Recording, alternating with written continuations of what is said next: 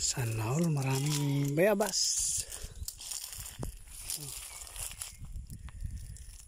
Sarap sila yan.